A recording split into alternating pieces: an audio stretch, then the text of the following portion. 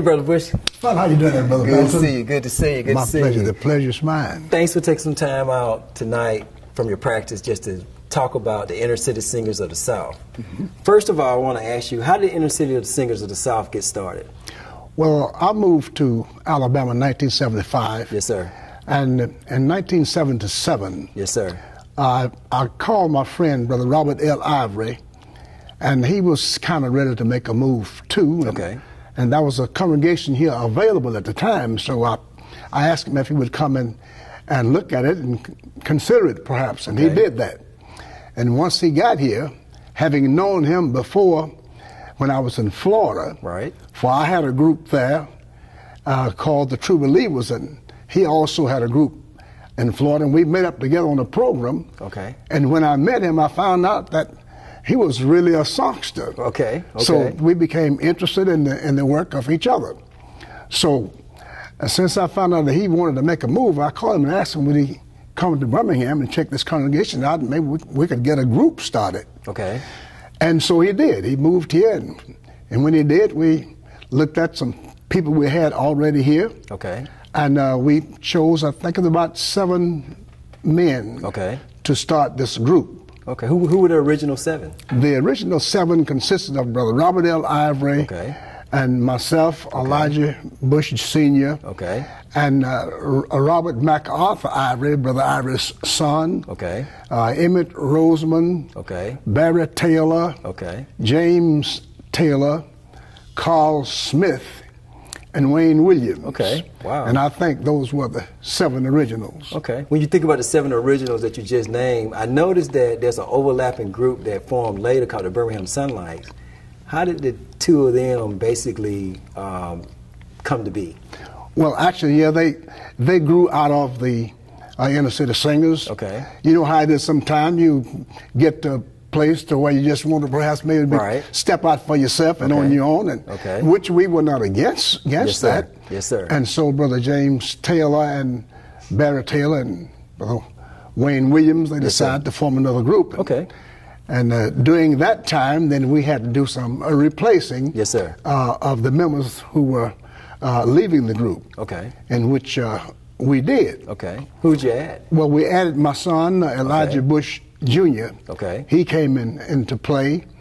And uh, that was that was several. But matter of fact, one of my daughters sung with us for a while. Wow. Uh, Yolanda. Okay. Well, God bless her, she's passed on now, but she sung with us for a while until we uh, finally got some other men to uh, Right. fill the place. Okay. So that that's kind of how we got started off. And, Okay. And so now we had the Sunlights Right. and the Inner City Singers, which we we always maintain good relationships, Right. you know, in the process Okay. of our singing and going forth. Great, great.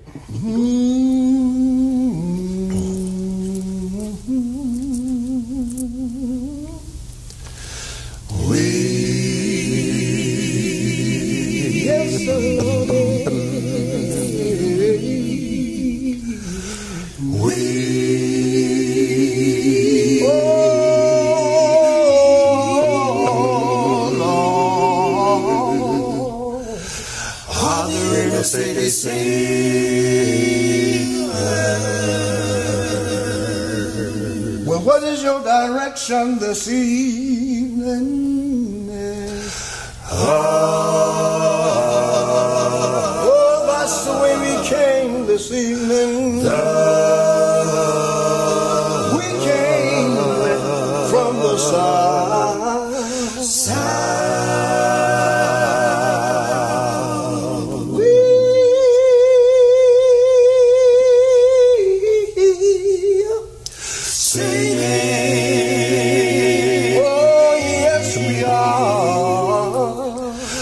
The songs of Zion. Well, tell me where you came from.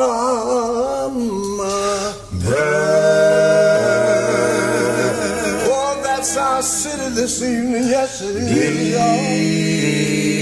We came from Birmingham. Tell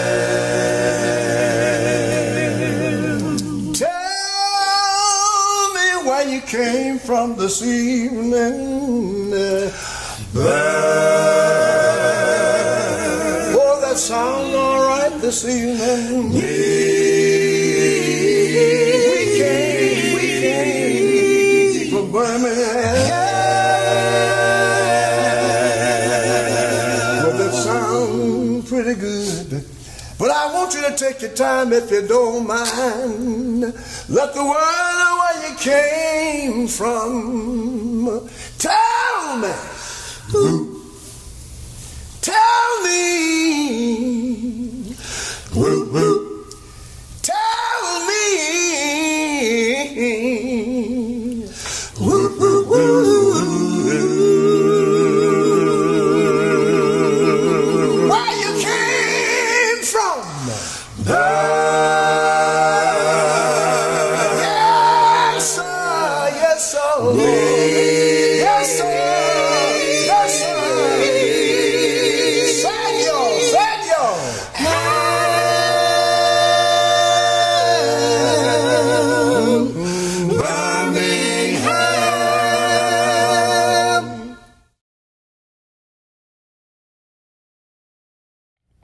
Going back to uh, the original two, you and Brother Ivory, how did y'all become the dynamic duo, as I've heard you call in times past? Well, see, actually, like I said, there were two groups. Uh, the spiritual seven that he had, and I had the true believers. We met up on this program down there, and actually, I could see his ability. And I guess evidently he observed mine also. So the type of singing that he did and that I did, well, I, I knew right away that if we put that together, we would, would become a great duo. And so when he came to uh, Alabama, then we, we started out just that way. Uh, first leader and second leader, and we actually we, we, we both could sing the, in the in the same position. But Brother Ivory, he had this this very extraordinary high pitched voice, you know, and and I was kind of like underneath him to to feed him to get him to that particular, you know, uh, point in his voice range. So once we found that out, we just started working together. Who, who influenced your overall style that you have uh, back then and as well as today? Well, actually, going back, uh, my my older brothers, uh, they they had a group, and I believe I can remember the name. I believe the name was Union Jubilees, long years ago, and uh, uh, that was the style that they used. And, and matter of fact, uh, uh, they they put together with my sister and myself, and another couple of kids put a group together back at that time. I was about seven, eight years old, and they would take us around the places, and it just became my style because of what I had heard, and and I felt very comfortable in so doing. Considering the way groups form and break up, how has the inner city singers of the South stayed together so many years, really so many decades? Well, actually, I, I, I would say I can contribute that to uh, my determination, Brother Ivory's determination, for we have had some people to come and to go. But it was always somebody there to fill that place. And we just never gave up, you know, on the group. We, we sought to find someone to fill that place, and we found them. And the Lord just put things in our, in our way to help us to uh, continue on in this, this ministry. When you say ministry, what would you term? How would you term the mission of the inner city singers of the South? Well, actually, I believe that singing is a part of the program of the Lord. Okay. And matter of fact, uh, singing is a means of teaching. For the Bible does say, you know, we teach one another in songs and spiritual songs, uh, you know, mean giving glory unto the Lord. So it's a means of teaching. And let me, can I share this with you? Uh, that we were in Texas. We were in a concert. There was a gentleman who came there on that night, and he heard our singing, and he was very, very carried away about the a cappella style of our singing. So he talked with us at the end of the program, and he said, I'll, I'll be back tomorrow for the next program. And he did. And, and he became so enthused with this until he was interested in the class, and we baptized that guy. He became a member of the Lord's church. So I say it is a means of teaching, and, and uh, it has, I think it has had great accomplishment across the years. Oh,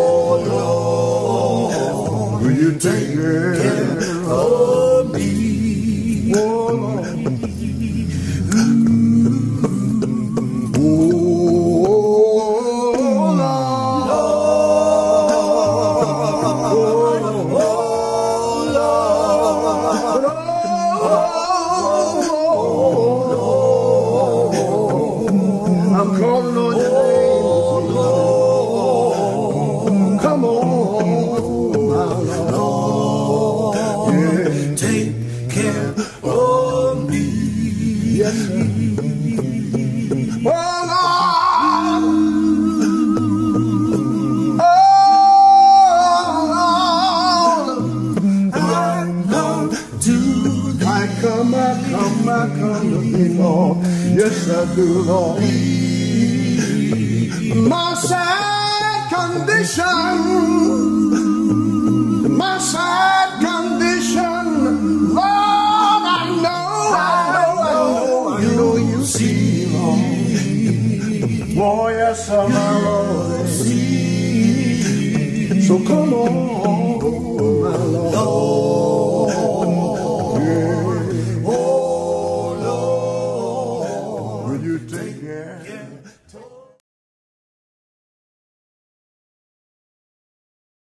When you look at the, your style of singing, the inner city singers, all the decades that you've been on the road, how has it impacted the Church of Christ overall?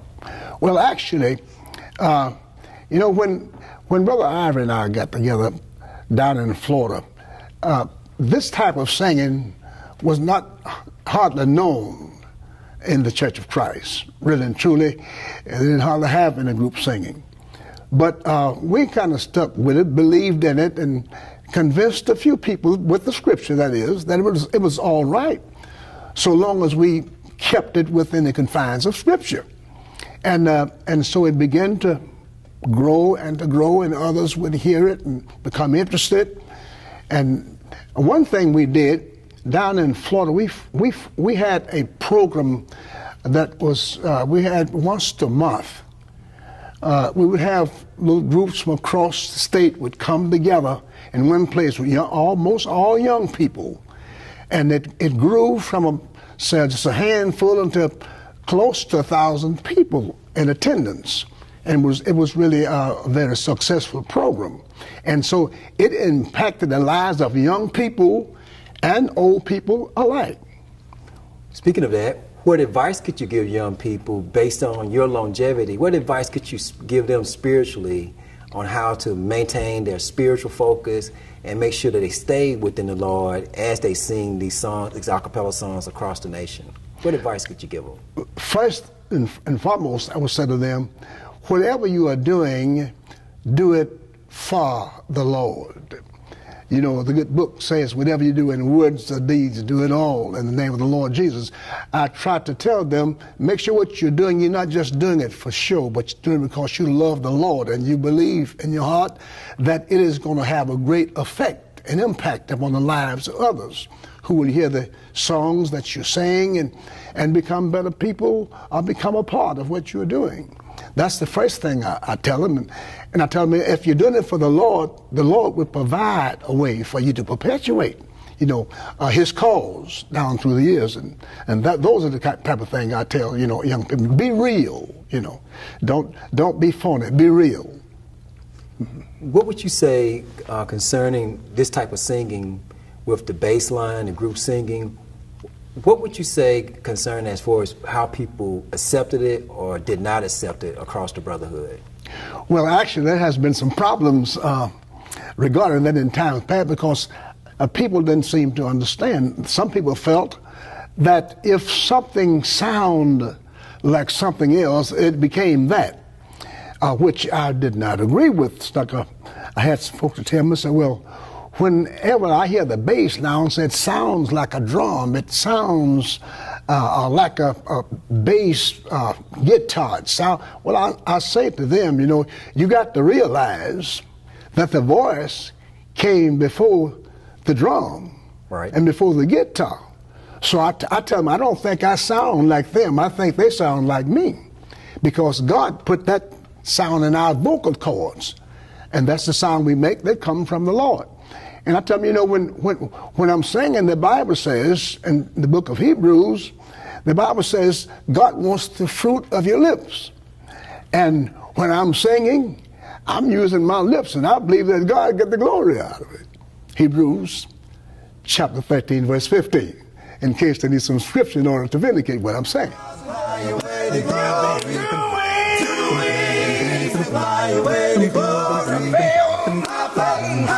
fly away to glory.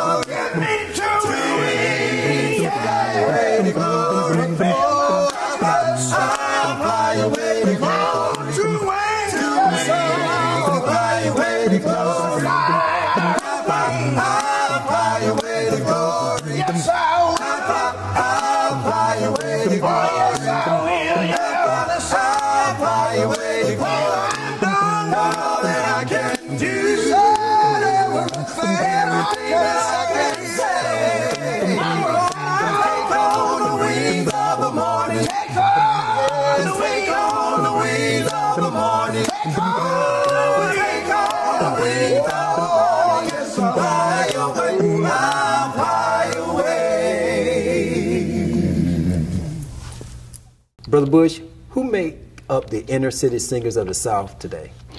Uh, in the in the inner city singers, we have first of all myself, Elijah Bush Senior, Elijah Bush Junior.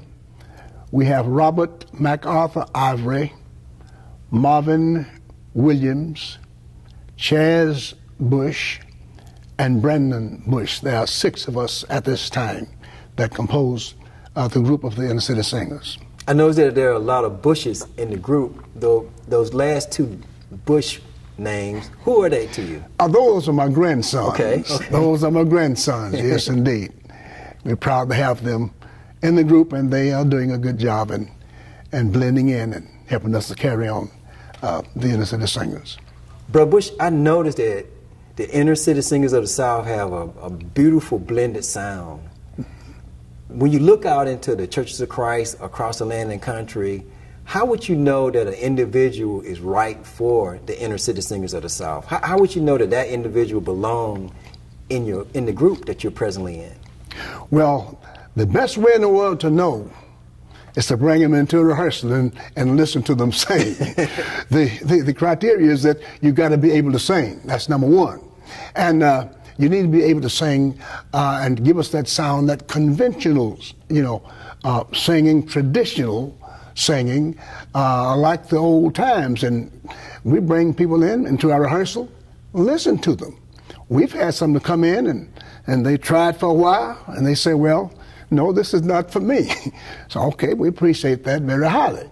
You just have to try them out to see what they can do. You know, I, I hear people sometimes perhaps singing with someone else and they sound good, and and I've had some. We have some folk like that right now who really would like to come in, and I, I think would make you know a pretty good member of the group. But the best way in the world to do that is to try them out, bring them into a rehearsal, listen to them sing. Has your daughter Yolanda Dukes been the only female member of the group? Well, she's been the one who has sung with us the most. it's, it seems like to me that someone else helped us out a little bit along the way, but I don't recall their names right now. But, but she, she, she worked with us uh, quite a bit. I believe uh, uh, one of the Ivory's daughters, I believe Lee sung with us a time or two uh, in some of our programs. Brother Bush, with the history of the inner city singers of the South, who would you say are or were the actual leaders of the inner city singers of the South? Well, actually, Brother Ivory and I, we shared that jointly. Being ministers of the gospel, we were in a position uh, to, to give good spiritual advice and to try to make sure that things were stayed on a, a spiritual level. So we, we shared that, Brother Ivory and I, we did. I was manager, he was co-manager, so we also we uh, were, I was a minister, he was a minister, and so we, we, we both shared that responsibility in trying to keep the group together and uh, keep them spiritually minded. Brother Bush, when you look back, I mean, look back, have it, you ever gotten to the point that you want to just say, enough is enough, and it's over? You or anyone in the group? Well, now, when you say anyone in the group, now, we, we've had some times when we've had to uh, discipline. Matter of fact, there was a time when we had to let some go, you know. But I don't recall a time when the group as a whole uh, had decided we just need to quit. I think we were always willing to, to, to make that extra effort to keep the group, group going. I don't think we've had that. Uh, we've ever come to that point where everybody just want to just let it go. But we've had to let uh, something go because of the fact uh, some things perhaps that wasn't up to par, if that's if I can use that term, uh, so far as people concerned in the group.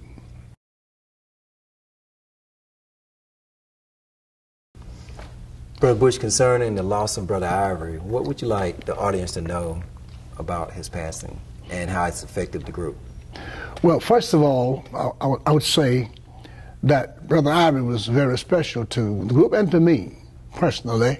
We were close friends and we worked together uh, real well as a team and singing.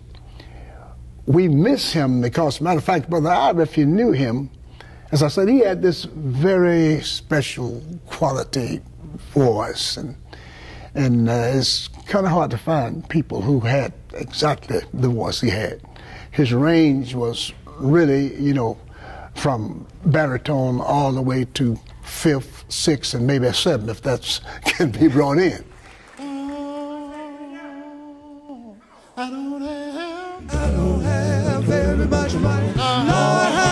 So we, we, we really missed it about him. He was, Brother Ivory loved the group. He loved singing. Matter of fact, if you were getting slack in a way, he would come to you, let you know, you know, hey, we're getting slack. We need to get things tightened up, you know. Come here. Yeah. Come on, man. Yeah, come here. Yeah. My Lord. Good God. What I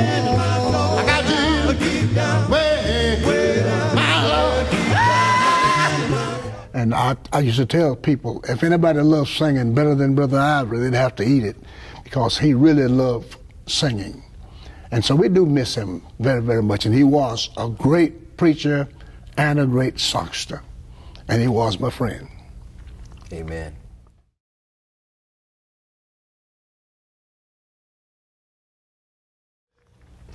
Brother Bush, thank you very much for your time. Uh, thank you for everything that you've done for the Brotherhood. And thank you so much for being my friend and my minister the time that I've known you. Thank you. I appreciate you so much, and the pleasure is mine. I'm so grateful that I had the chance to sit and to share a little bit about my great experience in singing songs of praise with the inner city singers of the South. Thank you, Brother Jeff, for being the person you are. Thank you, Brother Malone, and also your helper for coming and, and sharing with us and, and recording us that we might share with someone else. You are watching the Church TV Network, here live in Birmingham, Alabama.